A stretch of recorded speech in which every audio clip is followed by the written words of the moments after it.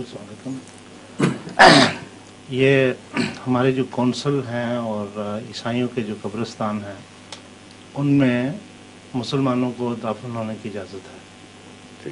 ہو رہے ہیں۔ لیکن جو مسلمانوں کے ہیں ان میں وہ بل کہتے ہیں یا کوئی عیسائی کوئی غیر مسلم دفن نہیں ہو سکتا۔ بلکہ کہتے ہیں کہ اگر کیا تو اٹھا کے باہر پھینک دیں گے۔ ٹھیک۔ تو اس سلسلے میں یہاں آج کل یہ کر رہے ہیں؟ جی جی جی۔ ٹھیک ہے۔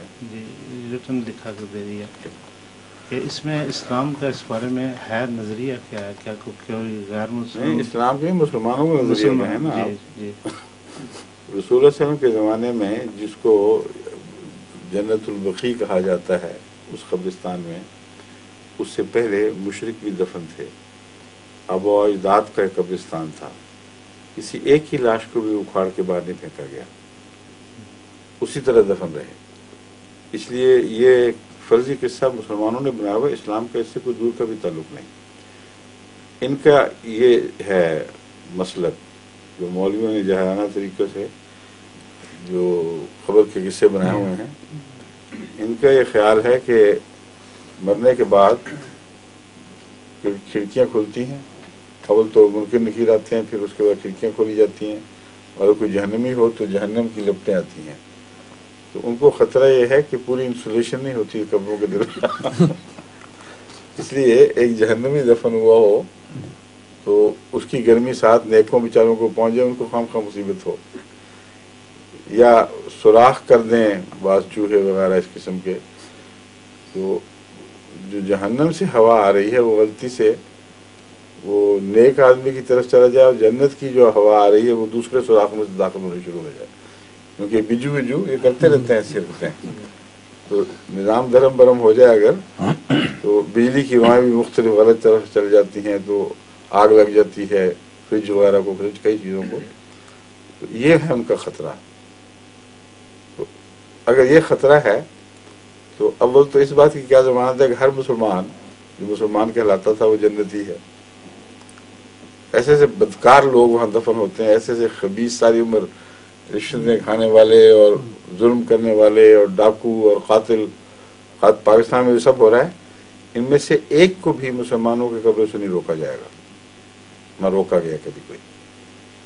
نہایت صفاق ظالم جھوٹے نہ کبھی نماز کے قریب گئے، بلکہ ان میں دہریہ بھی ہیں۔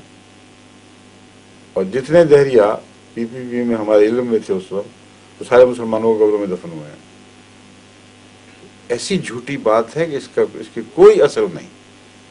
نہ عقل کی بات نہ کوئی سنت کی بات نہ قرآن نہ حدیث۔ کسی سے بھی اس کا اس مسئلے کے جواب میں کوئی بات ثابت نہیں ہے۔ اور اگر یہ بات ہے تو میں نے دیکھے ہیں خود یہودیوں کی قبریں یہاں جی۔ غور کر کے پھر کے دیکھا امریکہ میں بھی دیکھا ہے۔ ادھر میں بڑا قبرستان ہے ادھر یہ ٹوٹنگ ادھر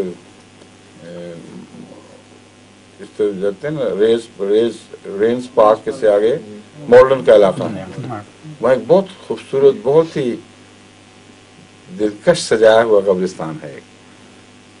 تو وہاں میں پھر پھر کے دیکھتا رہا ہوں۔ وہاں مسلمان بھی دفن ہیں، ساتھ یہودی بھی دفن ہیں، مسلمان دفن ہیں، کہیں عیسائی، کہیں کہیں، مگر ہیں ضرور۔ تو ان کو خود کو نہیں اکھاڑتے؟ لوگوں کو اکھاڑ کے جو باہر پھینک رہے ہیں تو اپنے جنتیوں کو کیوں اکھاڑ کے وہاں سے لے کے آتے؟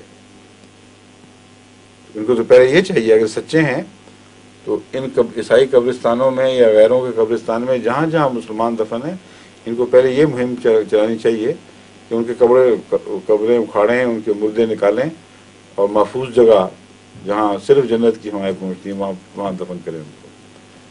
اس سے کچھ جہالت کی حد ہے، اسلام کو بدنام کرنے کی کوشش ہے۔ اور مولوی بیوقوف چونکہ بڑا سخت ہے اس کو پتہ ہی نہیں اس ان باتوں کا کہ ان حرکتوں سے کیا دنیا میں اثر پڑے گا۔ کیوں جی؟ تو آپ اس پہ لکھیں پھر اخباروں میں اور شور میں چاہے وہاں اسلام سے کوئی تعلق نہیں ان کو پکڑو اور یہ بھی لکھیں کہ قبریں اکھاڑو ان کی سب کی۔ ان کو کہو۔ تو تمہارا اپنا مفاد اس میں ہے کہ اپنی تمام قبریں اکھاڑ لو جہاں جہاں وغیرہ میں دفن ہے ٹھیک ہے؟ آپ نہ کھانا شروع کرنا آپ بہت اچھا جاتے ہیں گزار خریدنا ہے